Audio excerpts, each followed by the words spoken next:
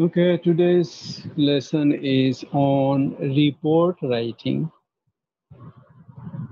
There are many kinds of report. You have already heard the word report, and you have written some reports, I think, in your SSC, HSC.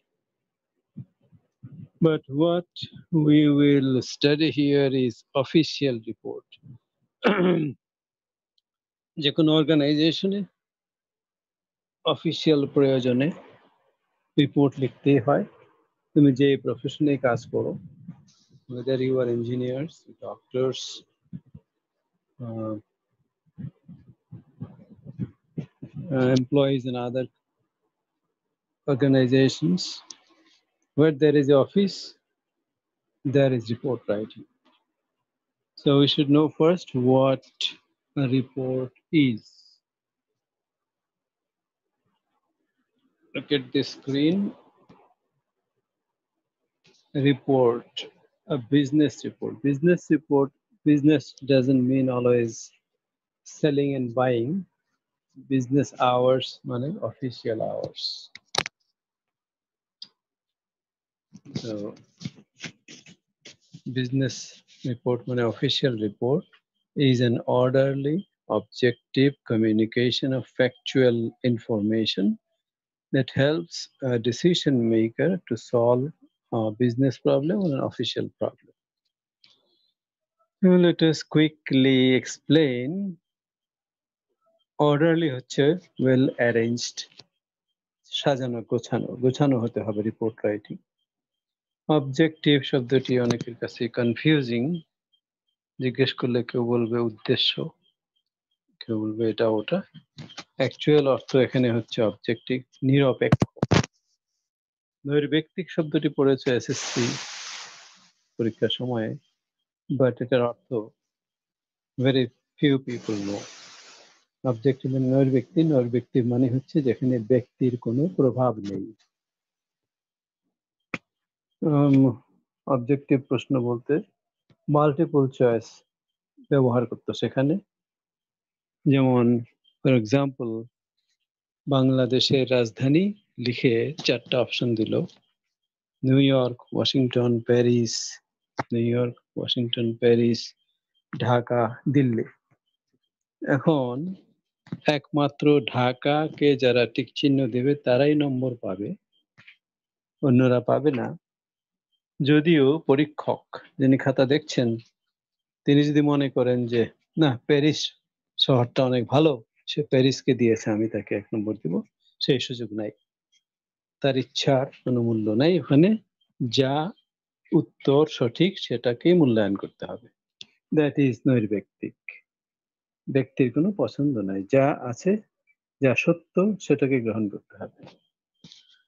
ওকে তাহলে report writing এর ক্ষেত্রে রিপোর্টটা well arrange হতে হবে। Objective মানে নিরপেক্ষ হতে হবে। ফ্যাকচুয়াল ইনফরমেশন ফ্যাক্ট মানে ঘটনা, যা ঘটেছে তার ইনফরমেশনটা নিরপেক্ষ এবং ওয়েল অ্যারেঞ্জড হতে হবে। That helps a decision maker to solve a business problem R official problem মানে যিনি সিদ্ধান্ত নেবেন, তাকে সাহায্য করে এই report to solve business problem official problem একটা অফিসিয়াল প্রবলেম অথবা বিজনেস প্রবলেম সলভ করার জন্য একটা রিপোর্ট সাহায্য করে। It is a communication from someone who has some information to someone who needs that information for making decision or solving problems. তো রিপোর্টের ক্ষেত্রে দুইটা প্রান্ত লাগবে। এক প্রান্তে থাকবে সেন্ডার যিনি পাঠাচ্ছেন, আরেকদিকে যিনি রিসিভ করছেন। সেন্ডার এন্ড রিসিভার দুটো এন্ড থাকতে হবে। একজনের কাছে একটা ইনফরমেশন থাকবে, যেটা অপরজনের দরকার কি করার জন্য প্রবলেম সলভ করার জন্য অথবা ডিসিশন নেওয়ার জন্য। ইট শুড বি সিম্পল এটা সহজ সরলভাবে লিখতে হবে ক্লিয়ার হতে হবে। পেঁচিয়ে গুছিয়ে লিখলে অর্থ বোঝা যাবে না। কমপ্লিট হতে হবে। ইনকমপ্লিট রাইটিং হলে সেটা রিপোর্ট হবে না। And impersonal presentation again objective এবং ইমপার্সোনাল একই অর্থ। নিরপেক্ষ উপস্থাপন হতে হবে। ফ্যাক্টস ঘটনার নিরপেক্ষ উপস্থাপন হতে হবে। Useful for making decision decision নেওয়ার জন্য যেটা দরকারি হবে, সাহায্যকারী হবে। ওখানে দিয়ে নিচে আছে অনেকগুলো রিপোর্টের ধরন। ইনভেস্টিগেশন রিপোর্ট হয় medical report diagnostic report financial report বিভিন্ন পারপাজে বিভিন্ন রকম রিপোর্ট হয়। বাট আমরা এখানে শুধুমাত্র we are concerned about official report investigation report like this এবং রিসার্চ রিপোর্ট নিয়ে আমরা পরবর্তী একটা ক্লাস আলোচনা করব, যেটা তোমাদের ফোর্থ ইয়ারে গেলে কাজে লাগবে। এর মধ্যেই এতদিন এটা আমরা ফার্স্ট সেমিস্টারে আলোচনা করতাম না। এর ফলে এখন ফোর্থ ইয়ারের স্যারেরা বলছে, এরা তো কিছুই বোঝে না। রিসার্চ রিপোর্টের কিছুই বোঝে না। আমরা বলি, তো না বোঝারই কথা। এটা জীবনের প্রথম যখন শুরু করবে, তখন তো শিখতে হবে। তো এখন থেকে আমরাই এখন থেকে একটা আইডিয়া দিয়ে দিব রিসার্চ রিপোর্ট কীভাবে লিখে। ফোর্থ ইয়ারে গেলে সবাইকে লিখতে হবে একটা রিসার্চ রিপোর্ট তো এটা আরেকটি ক্লাসে হবে। তো আজকে আমরা দেখি অফিসিয়াল রিপোর্ট এক্সাম্পল দেখি।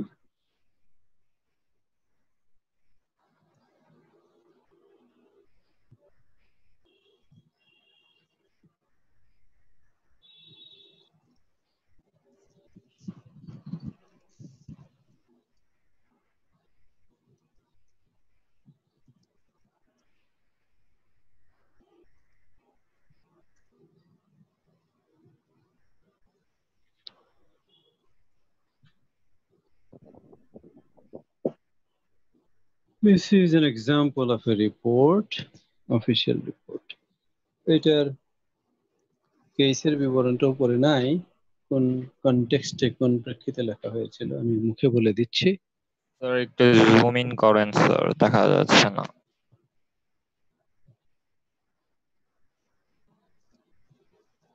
এখন কিছুটা দেখা যাচ্ছে Yes, sir. Yes Yes, sir. দেখা যাচ্ছে Yes, sir. হ্যালো দেখতে পাচ্ছো? Hello Yes, sir. Okay Yes, sir. Okay excuse me তাহলে এটা একটা রিপোর্ট এটার ব্যাকগ্রাউন্ড বলি সেটা হচ্ছে গ্লোবাল আইটি একটি গ্লোবাল আইটি লিমিটেড একটা কোম্পানির নাম সেখানে জেনারেল ম্যানেজার আছে ম্যানেজার আছে ব্রাঞ্চ ম্যানেজার আছে। তো ব্রাঞ্চ ম্যানেজার, একটা ব্রাঞ্চের ম্যানেজার হচ্ছেন ওবায়দুর রহমান। আর কোম্পানি জেনারেল ম্যানেজার ওই ব্রাঞ্চের ম্যানেজারকে বলেছে যে, আপনার আন্ডারে দুজন লোক কাজ করছেন যারা ছয় মাস আগে জয়েন করেছে তাদের কার্যকলাপ পারফরমেন্স সম্পর্কে লিখে জানান So the next vehicle that I'm going to be talking about is the ওকে তাহলে ওই কোম্পানিতে জেনারেল ম্যানেজার একটি ব্রাঞ্চের ম্যানেজারকে বলছে যে আপনার আন্ডারে দুজন মানুষ ছয় মাস আগে জয়েন করে কাজ করছে তাদের পারফরমেন্স সম্পর্কে একটা রিপোর্ট দেন আমাকে দুজন মানুষের নাম হচ্ছে mister Tom and mister Harry report on the performance of Mr. Tom and Mr. Harry. This is the subject. And then salutation, sir, dear sir, তারপরে শুরু ইন্ট্রোডাকশন আচ্ছা এখানে একটা জিনিস মিস করেছি। একটা রিপোর্টে চারটা অংশ থাকবে মিনিমাম একটি হচ্ছে ইন্ট্রোডাকশন একটা হচ্ছে ফ্যাক্টস কনক্লুশন এন্ড রিকমেন্ডেশন এটার পরে আবার ওদিকে যাব। বলছে as per your memorandum memorandum মানে চিঠি। চিঠি দিয়ে জেনারেল ম্যানেজার ব্রাঞ্চ ম্যানেজারকে বলেছে এই দুজনের সম্পর্কে লিখে জানাতে। So per your letter number 25 dated 14 June 2012, I am submitting the following report before you. Okay. প্রত্যেকটা অফিসিয়াল চিঠিতে একটা করে রেফারেন্স নাম্বার থাকে। এই টোয়েন্টি ফাইভ স্যার বলো।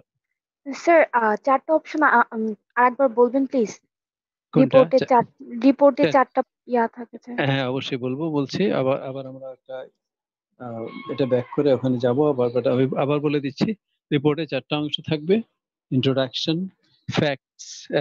C T S conclusion, and recommendation or suggestion.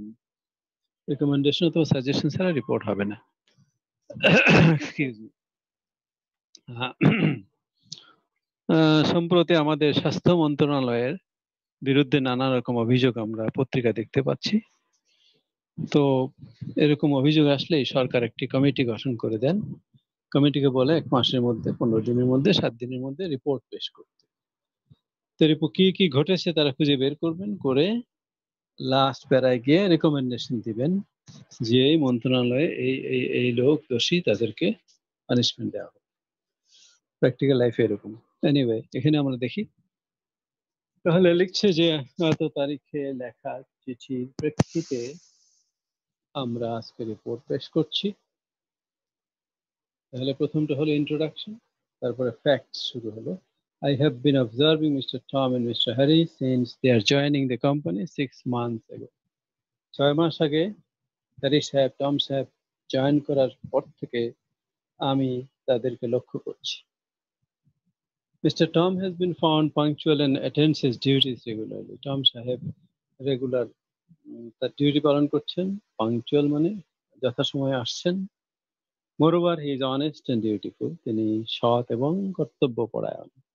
In addition, এছাড়া he is enthusiastic about his duties and seems to be eager to learn. এবং তার কাজকর্মে দায়িত্বের প্রতি আগ্রহ আছে অনুপ্রেরণা আছে। And seems to be eager to learn এবং তাকে মনে হয় তিনি আরও শিখতে চান শেখার আগ্রহ আছে। তারপরে on the other hand on the other hand আমরা পড়েছি কন্ট্রাস্ট রাইটিং এ যে বিপরীত ধর্মী কিছু আলোচনা করলে এই রকম ট্রানজিশন ওয়ার্ড অথবা লিঙ্কার দরকার হয়। দুইজন, যেহেতু দুই রকম, সেজন্য দুইজন একজন আরেকজনের চাইতে পৃথক এখানে, দুই ব্যক্তি দুই রকম। সেজন্য অন দি আদার হ্যান্ড এসছে। আদারওয়াইজ দুজনেই কর্তব্য পরায়ণ দুজনেরই যদি ভালো কোয়ালিটি থাকতো, তাহলে হয়তো similarly mister Harry so and so ইত্যাদি। যেহেতু দুই রকম দুইজন এই জন্য অন দি আদার হ্যান্ড এসছে On the other hand, Mr. Harry is very often late for work and remains absent from office without notice several times every month. প্রথমে negative খবর বলছে on the other পক্ষান্তরে Harry সাহেব প্রায়ই দেরি করে অফিসে আসেন and remains absent from office without notice several times every month. প্রত্যেক মাসে তিন চার দিন করে তিনি অনুপস্থিত থাকেন কোনো রকম পারমিশন ছাড়াই Again, he does not show any interest in discharging duties. Discharging means performing.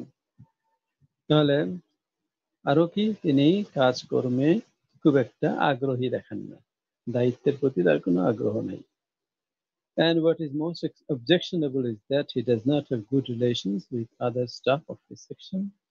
এবং তিনি যে সেকশনে কাজ করেন সেই সেকশনের অন্যান্য স্টাফদের সাথে তার সম্পর্কও ভালো নেই মেবি ঝগড়াঝাটি করে, পরিবেশ নষ্ট করে।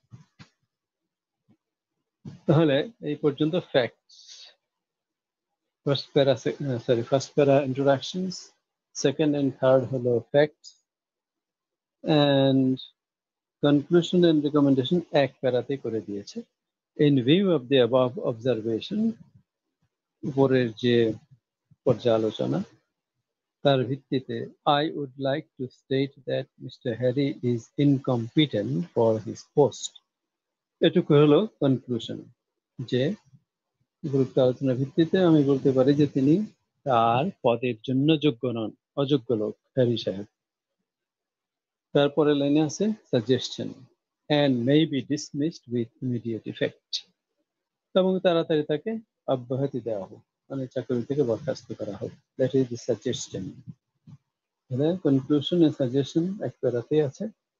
বেস্ট রিগার্স বাকিটা তো নর্মালি যেভাবে শেষ করতে হয়, চিঠিপত্র official চিঠিপত্র best regards faithfully yours sign করতে হবে, তারপর নাম লিখতে হবে branch manager branch Chittagong So this is a practical example of a report.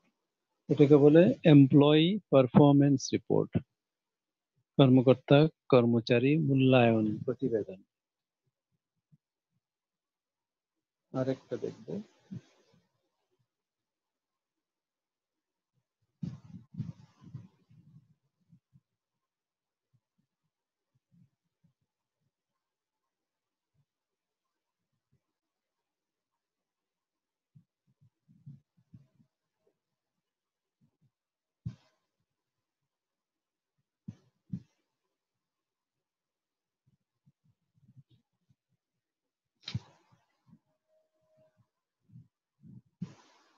যেটা বলছিলাম যে section of report introduction facts conclusion and recommendation প্রত্যেকটা রিপোর্টে এই চারটা অংশ অবশ্যই থাকতে হবে।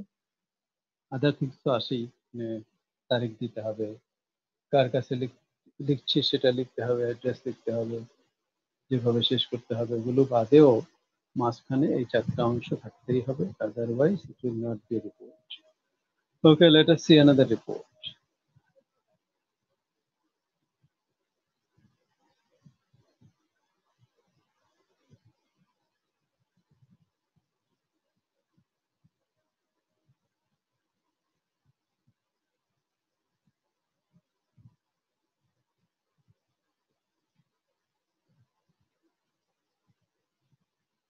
This is another report.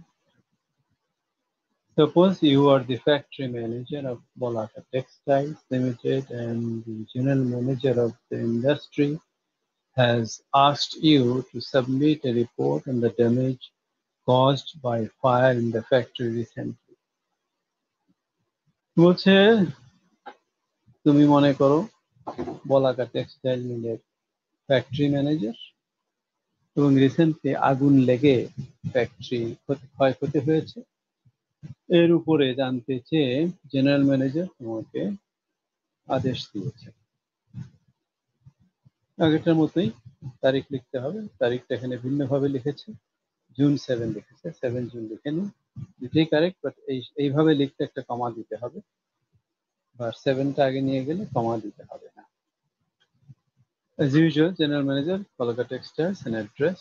Subject হচ্ছে report on damage caused by fire to our factory godown. বলে ফ্যাক্টরি ওয়ারহাউসে যে আহ, ক্ষতি হয়েছে আগুনের ফলে তার উপরে রিপোর্ট দিচ্ছেন Salutations, sir. According to your instructions, I have conducted a thorough investigation into the causes of fire that broke out in our factory at about 1 p.m. 30 May 2007. এখানে এটুকু ইন্ট্রোডাকশন হওয়া উচিত একটু মিশিয়ে ফেলেছে ইট কস্ট থেকে আহ, আরেক প্যারা হওয়া উচিত It caused a huge damage to our raw materials and finished goods. Raw material হচ্ছে একটি ফ্যাক্টরিতে যা তৈরি হয় সেগুলো যেগুলো দিয়ে তৈরি হয় সেটা র মেটেরিয়াল আর যেটা তৈরি হয় সেটি হচ্ছে finish goods worth taka ten lakh. তাহলে raw material plus finish goods মিলে টেন লাখ টাকার ক্ষতি হয়েছে। Moreover the east side of the factory godown was partially damaged এবং গোডাউনের পূর্ব অংশ আংশিকভাবে ক্ষতিগ্রস্ত হয়েছে। As soon as the fire was detected, the fire brigade was called in. বুঝছে যেই মাত্র আগুন লাগার খবর পাওয়া গিয়েছিল, ফায়ার ব্রিগেডকে খবর দেওয়া হয়েছিল।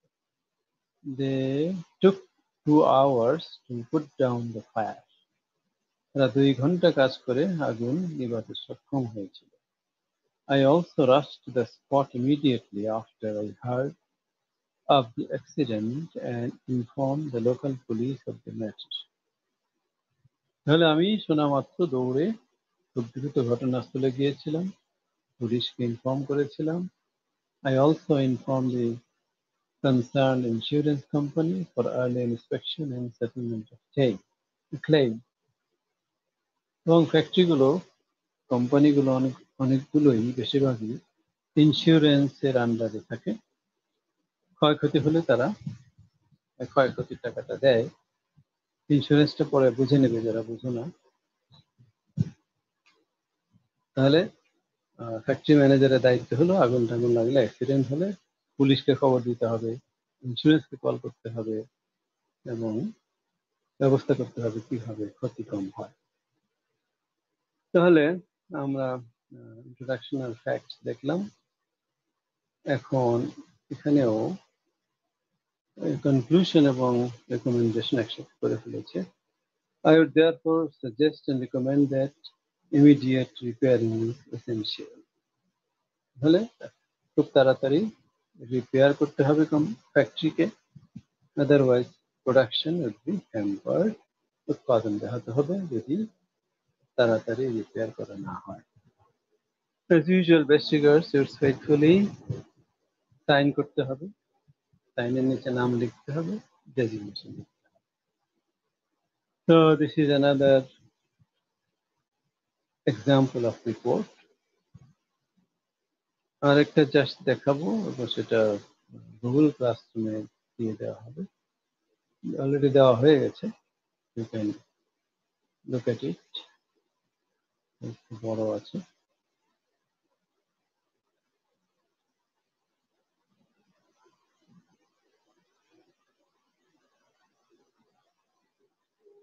এখানে বিশ্ববিদ্যালয় ক্যান্টিন সম্পর্কে অনেক অভিযোগ ছিল এবং ভাইস চ্যান্সেলর ধরো দুজনকে ডেকে দুইজন ছাত্র ছাত্রী ছাত্রকে ছাত্রীকে হোয়াট এভার দুজনকে ডেকে বলছে, তোমরা দুজনে মিলে এটা একটা তদন্ত করে আমাকে একটা রিপোর্ট দাও।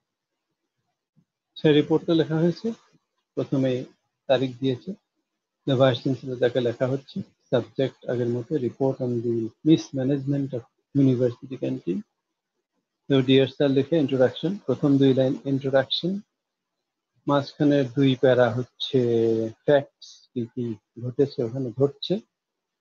খাবার দাবার ঠিক নেই অস্বাস্থ্যকর ব্যবহার খারাপ ইত্যাদি ইত্যাদি আছে। দেয়ার ফোর দিয়ে যেটা সেটা কনক্লুশন এখানে চারটা অংশ একদম পারফেক্টলি আছে। Introduction facts, conclusion and recommendation the last con- uh, recommendation. So we recommend that the canteen management staff should be changed as soon as possible. যে বর্তমানে যে ম্যানেজমেন্ট স্টাফ আছে এদেরকে তাড়াতাড়ি চেঞ্জ করতে হবে